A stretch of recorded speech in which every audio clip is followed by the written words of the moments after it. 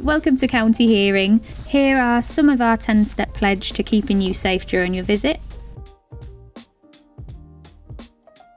We are still operating a locked door policy and only allowing people in with appointments.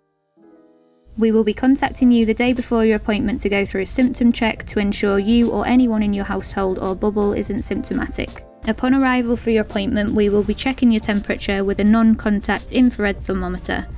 If your temperature is within normal range, we will invite you to wash, sanitise your hands, and you will be given a surgical mask to wear for the rest of your appointment.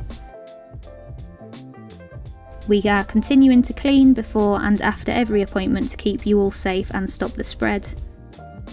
We listened to your feedback with regards to paying over the phone, and we are now, for the most part, able to take payments on the day. Card payment is preferable, and we can clean the machine in between each transaction.